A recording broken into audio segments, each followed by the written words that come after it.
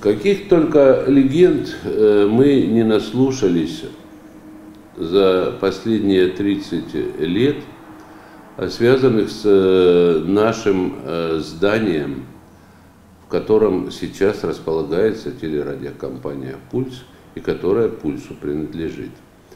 А вот. От того, что мы его отняли и выгнали на улицы десятки людей – до того, что мы его украли э, и вообще, вообще, что только не плетут. Сейчас я вам расскажу правду. Как это было на самом деле.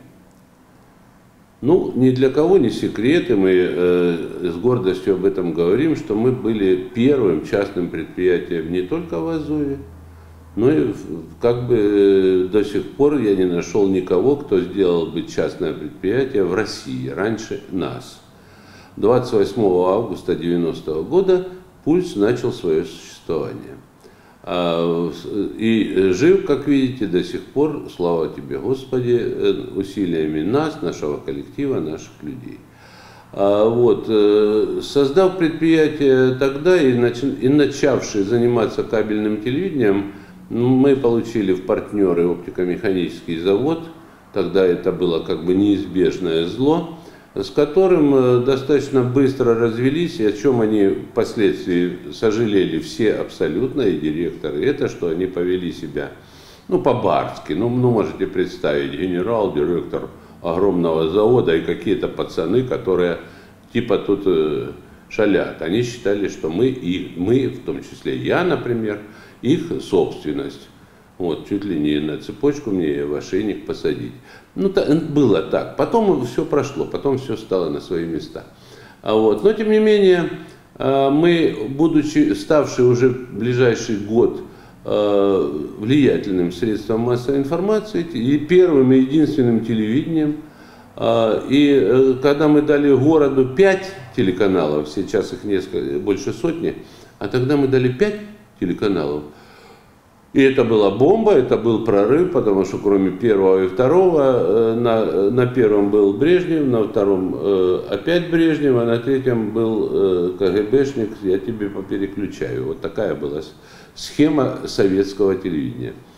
А вот. Затем э, сложилось так, что нас очень быстро, мы очень быстро развелись с оптико-механическим заводом, и нас э, турнули тогда из э, помещения на Мира 35, там сейчас то ли зубная клиника, то ли магнит, не знаю, что там было, мы занимали там.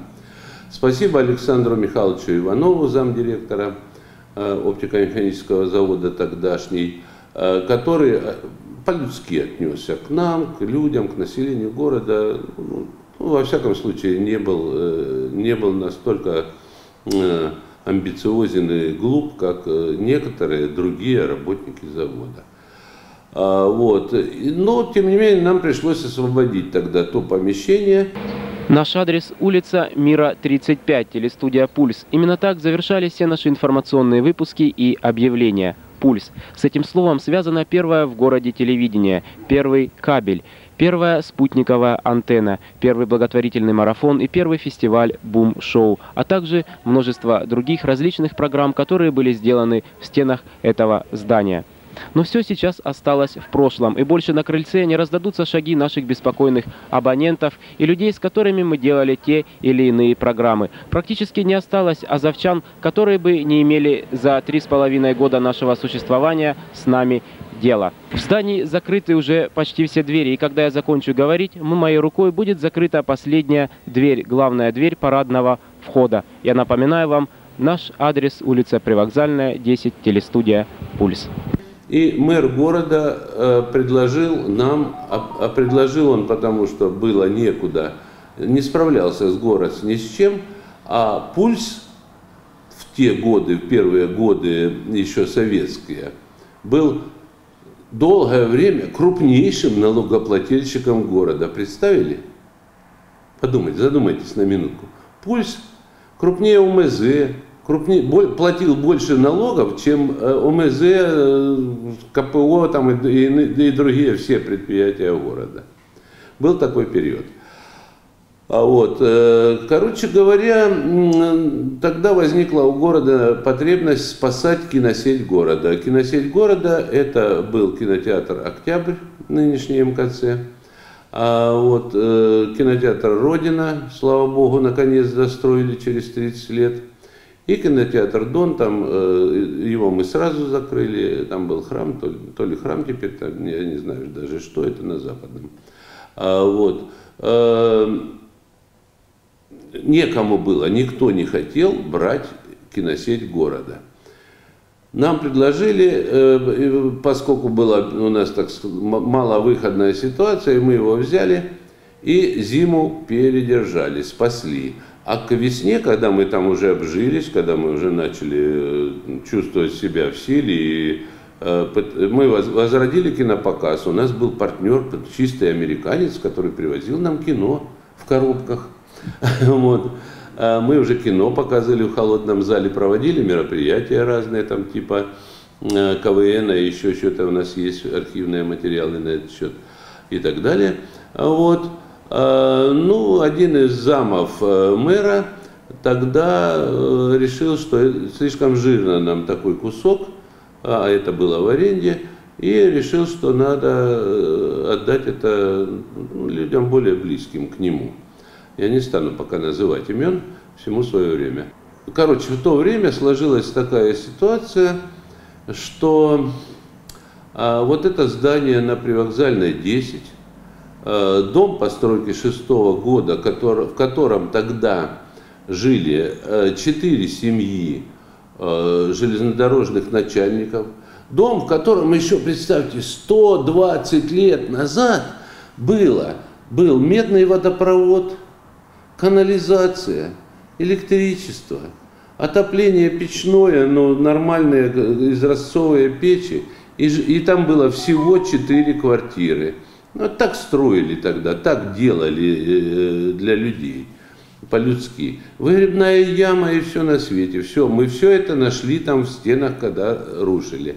А в тот момент, когда мы туда пришли, в, это, в этом доме жили 25 семей, клетках по 6, по 9 метров.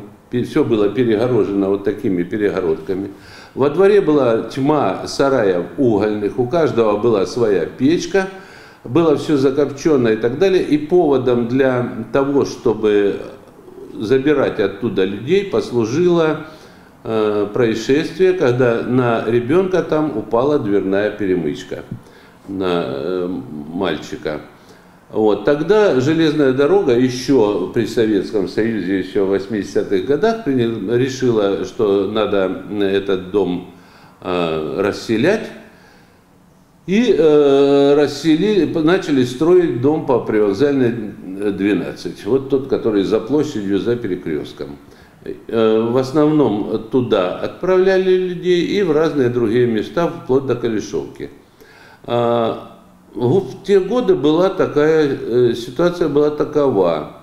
Э, с, вокзала на, через площадь шел непрерывный поток мигрантов – Люди бежали из республик, наши русские люди в основном, бежали из республик, и все шли мимо этого дома. Если отдать людям квартиры и а, их переселить э, э, новые помещения, то тут мгновенно, э, э, этот дом мгновенно заселят переселенцы, попробуй их потом выкорчевать, дай им это. И на подмогу тут вытащили единственная дееспособная эм, структуру в городе, это опять же мы, пульс. Нам сказали, ребята, вот вам здание, что хотите с ним сделаете, оно предназначено на снос, мы заключаем договор о том, что вы забираете материалы от сноса его, от, вы его снесете, но вы его начинаете, принимаете сейчас и охраняете, сторожите и переселяете людей. Мы вот так на руках выносили оттуда людей. Столетнюю старушку с ее вот такими вот лежавшимися шмотками, которые там годами лежали, И, и маленьких детей мы всех развозили по всему на новые квартиры, на их новые квартиры, мы их развозили, всех высели, вывозили. А, вот, обнаружили мы и дырку в полу, куда, извините, гадили а, в одной из комнат, и многочисленные печки, и как только там люди не жили.